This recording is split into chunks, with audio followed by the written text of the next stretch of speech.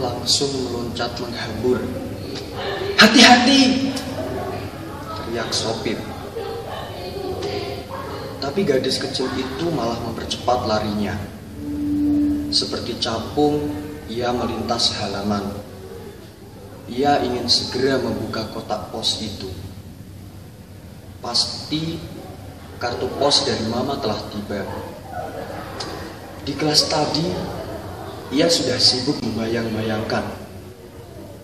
Bergambar apakah kartu pos dari mama kali ini? Hingga bu guru menegurnya karena terus-terusan melamun. Beningnya tertegun, mendapati kotak itu kosong. Ia melongok, barangkali kartu pos itu terselip di dalamnya. Tapi memang tak ada. Mama begitu sibuk hingga lupa mengirim kartu pos? Mungkin Besari sudah mengambilnya. Beningnya pun segera berlari berteriak, Bi! Bibi! Ia nyaris kepleset dan menabrak pintu. Sari yang sedang mengepel sampai kaget melihat beningnya terengah-engah begitu. Ada apa, Non? Kartu posnya udah diambil bibi ya? Tongkat pel yang dipegangnya nyaris terlepas. Dan Sari merasa mulutnya langsung kaku. Ia harus menjawab apa? Sari bisa melihat mata kecil yang bening itu seketika meredup seakan sudah menebak karena ia terus diam saja sungguh ia selalu tak akan tahan melihat mata yang kecewa itu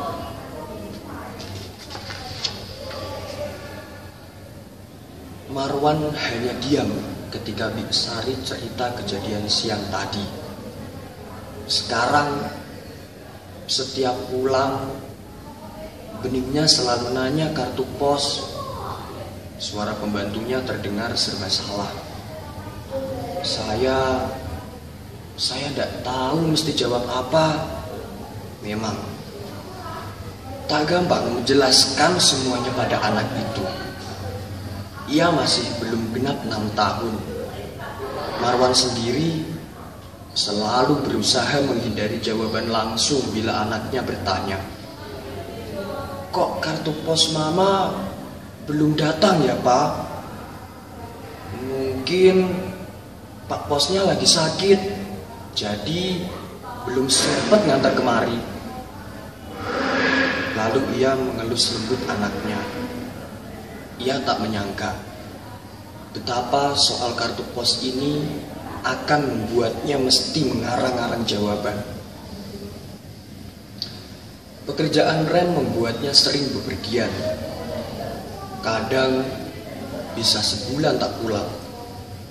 Dari kota-kota yang disinggahi, ia selalu mengirimkan kartu pos buat beningnya Marwan kadang meledek istrinya. Hari gini masih pakai kartu pos. Karena Ren sebenarnya bisa telepon atau kirim SMS. Meski baru playgroup, beningnya sudah pegang HP. Sekolahnya memang mengharuskan setiap murid punya handphone agar bisa dicek sewaktu-waktu, terutama saat bubaran sekolah untuk berjaga-jaga kalau ada penculikan. Kau memang tak pernah merasakan bagaimana bahagianya dapat kartu pos. Marwan tak lagi menggoda bila Ren sudah menjawab seperti itu. Sepanjang hidupnya, Marwan tak pernah menerima kartu pos. Bahkan, rasanya ia pun jarang dapat surat pos yang membuatnya bahagia saat SMP banyak temannya yang punya sahabat pena yang dikenal lewat rubrik majalah. Mereka akan berteriak senang bila menerima surat balasan atau kartu pos dan memamerkannya dengan membacanya keras-keras. Karena iri, Marwan pernah diam-diam menulis surat untuk dirinya sendiri. Lantas mengeposkannya. Ia pun berusaha tampak gembira ketika surat yang dikirimkannya sendiri itu ia terima. Ren sejak kanak sering menerima kartu pos dari ayahnya yang pelaut. Setiap kali menerima kartu pos darinya, aku selalu merasa ayahku muncul dari negeri-negeri yang jauh. Negeri yang gambarnya ada dalam kartu pos itu. Ujar Ren. Marwan ingat bagaimana Ren bercerita dengan suara penuh kenangan. Aku selalu mengeluarkan semua kartu pos itu setiap ayah pulang. Ren kecil duduk di pangkuan, sementara ayahnya berkisah keindahan kota-kota pada kartu pos yang mereka pandangi. Itulah saat-saat menyenangkan dan membanggakan punya ayah pelaut. Ren merawat kartu pos itu seperti merawat kenangan. Mungkin aku memang jadul. Aku hanya ingin beningnya punya kebahagiaan yang aku rasakan. Tak ingin berbantahan, Marwan diam. Meski tetap saja ia merasa aneh. Dan yang lucu, pernah suatu kali Ren sudah pulang.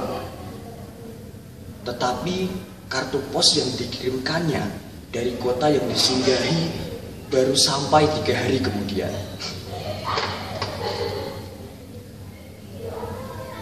Ketukan itu membuat Marwan bangkit dan ia mendapati beningnya berdiri sayu menenteng kotak kayu. Itu kotak kayu pemberian Ren. Kotak kayu yang dulu juga dipakai Ren menyimpan kartu pos dari ayahnya. Marwan melirik jam dinding kamarnya pukul 11.20. Enggak bisa tidur ya? Mau tidur di kamar papa? Marwan menggandeng anaknya masuk. Besok papa bisa antar beningnya enggak? Tiba-tiba anaknya bertanya. Ngantar ke mana? Pizza Hut. Beningnya menggeleng. Ke mana? Ke rumah Pak Pos. Marwan merasakan sesuatu mendesir di dadanya. Kalau emang Pak Posnya sakit, biar besok beningnya aja yang ke rumahnya. Ngambil kartu pos dari mama.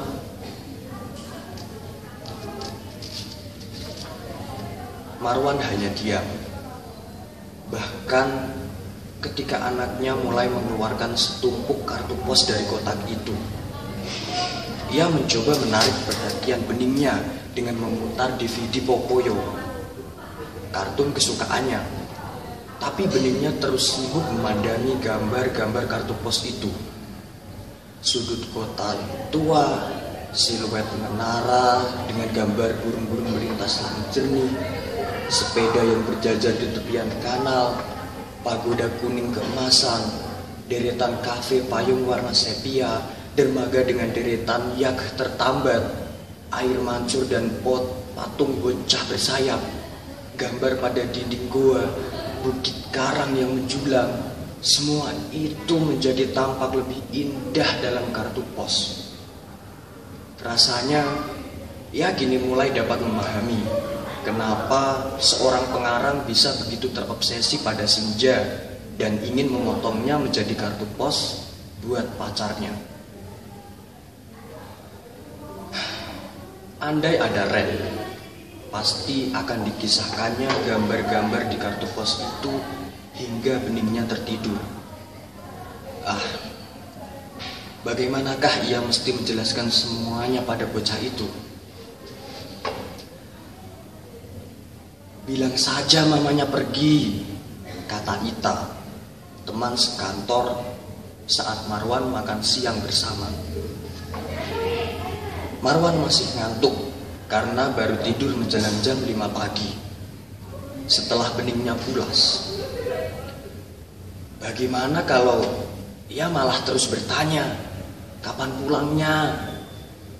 Ya sudah, kamu jelaskan saja pelan-pelan yang sebenarnya. Itulah, ia selalu merasa bingung dari mana ia mesti memulainya. Marwan menatap Ita yang tampak memberi isyarat agar ia melihat ke sebelah. Beberapa rekan sekantornya terlihat tengah memandang mejanya dengan mata penuh gosip. Pasti mereka menduga ia dan Ita. Atau kamu bisa saja tulis kartu pos buat dia, seolah-olah itu dari Ren.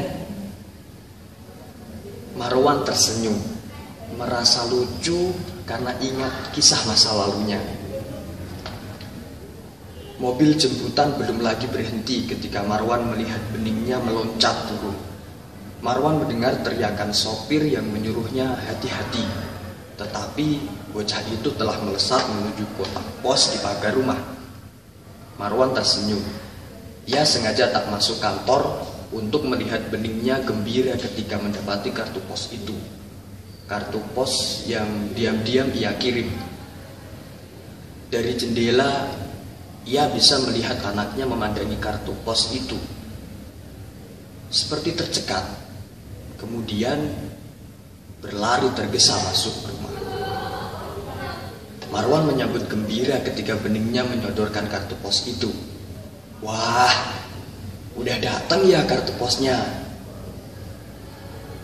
Marwan melihat mata beningnya berkaca-kaca. Ini bukan kartu pos dari mama. Jadi mungilnya menuju kartu pos itu. Ini ini bukan tulisan mama, Pak. Marwan tak berani menatap mata anaknya. Ketika beningnya terisak dan berlari ke kamarnya. Bahkan membohongi anaknya saja, ia tak bisa. Barangkali memang harus berterus terang. Tapi bagaimanakah menjelaskan kematian pada anak seusianya? Rasanya akan lebih mudah bila jenazah Ren terbaring di rumah. Ia bisa membaringkan dan membiarkan beningnya melihat mamanya untuk terakhir kali. Membiarkannya ikut ke pemakaman dan mungkin ia akan terus-terusan menangis karena merasakan kehilangan. Tetapi rasanya jauh lebih mudah menenangkan beningnya dari tangisnya ketimbang harus menjelaskan bahwa pesawat Ren jatuh ke laut dan mayatnya tak pernah ditemukan. Ketukan gugup di pintu membuat Marwan bergegas bangun. 12 lewat. Sekilas ia melihat jam kamarnya. Ada apa? Marwan mendapati Biksari yang pucat. Beningnya tuan, beningnya. Bergegas, Marwan mengikuti Biksari dan ia tercekat di depan kamar anaknya. Ada cahaya terang keluar dari celah pintu yang bukan cahaya lampu, cahaya yang terang keperakan. Dan ia mendengar beningnya yang cekikikan riang seperti tengah bercakap-cakap dengan seseorang. Hawa dingin bagai merembes dari dinding. Bau wangi yang ganjil mengambang dan cahaya itu makin menggenangi lantai. Rasanya ia hendak terserap ambles ke dalam kamar. Beningnya, beningnya. Marwan segera menggedor pintu kamar yang entah kenapa begitu sulit ia buka. Ia melihat ada asap lembut serupa kabut keluar dari lubang kunci. Bau sangit membuatnya tersedak, lebih keras dari bau amoniak Ia menduga terjadi kebakaran dan makin panik membayangkan api mulai melahap kasur. Beningnya, beningnya. Sari ikut berteriak memanggil. Buka beningnya, cepat buka nak. Buka beningnya. Entahlah berapa lama ia menggedor ketika akhirnya cahaya keperakan itu seketika lenyap dan pintu terbuka. Beningnya berdiri sambil memegangi selimut. Segera Marwan menyambar mendekapnya. Ia melongok ke dalam kamar. Tak ada api. Semuanya masih rapi. Hanya kartu pos-kartu pos yang berserakan.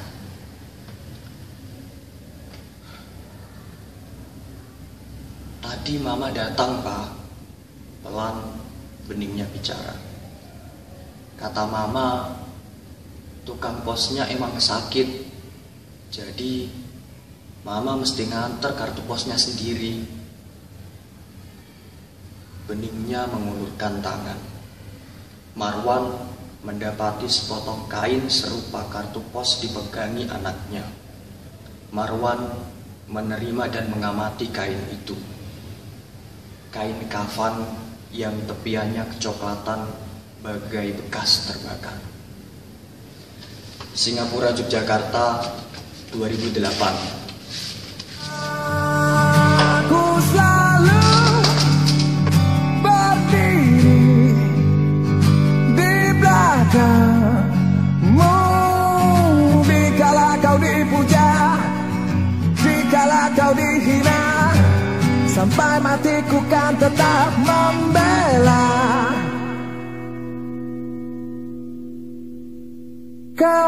Kau tetap